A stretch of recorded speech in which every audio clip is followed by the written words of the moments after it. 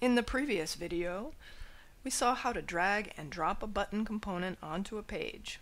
Now let's set up the button to serve its intended purpose, which is to create a link on a page.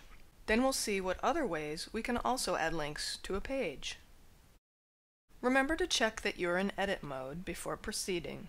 At the time of this video's creation, the button component still tells you to double click to edit it, but in the touch user interface, you only need to click once and then select the configure icon, a wrench, to open the dialog. For button text, enter a word or phrase that will signal to your site visitor what they will see when they click the button. In the Link To field, we have several choices. First, you may link to an outside website. To do this, copy the external site's URL and paste it into the Link To field. Click the check mark to save. You may check to see that your links work by switching to preview mode and then clicking your new link. Alternatively, you may wish to link to another page within your site.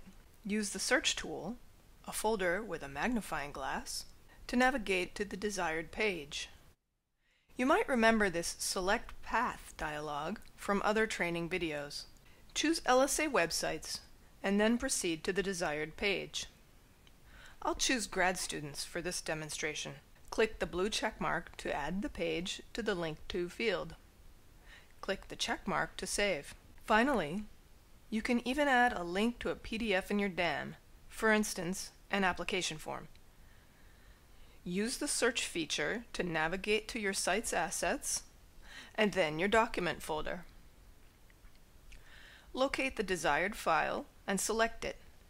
Then click the blue check mark to add the path to the Link To field. Click the check mark to save. The other items in the button component are intended to help you customize the look and feel of your site.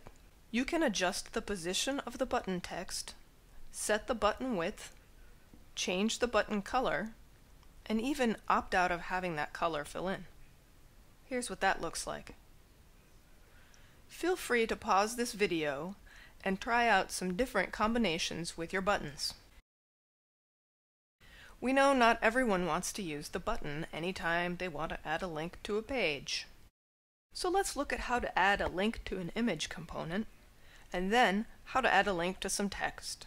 Click on the image and select the wrench icon. The familiar Link To field is indicated here simply with the word link. First, you may link to an outside website. To do this, copy the external site's URL and paste it into the Link To field. Click the check mark to save. Alternatively, you may wish to link to another page within your site. Use the search tool, represented by a checkbox, to navigate to the desired page. You might remember this Select Path dialog from other training videos. Choose LSA websites and then proceed to the desired page. I'll choose, once again, grad students for this demonstration. Click the blue check mark to add the page to the Link To field. Click the check mark to save. In the image component, just as with the button, you can add a link to a PDF in your DAM. Use the search tool to navigate to your site's assets, and then your document folder. Locate the desired file and select it, then click the blue check mark to add the path to the Link To field. We're sorry, but drag and drop is not available at this time. Click the check mark to save. Finally, let's add a link to some text. Click the text and then select the pencil that appears.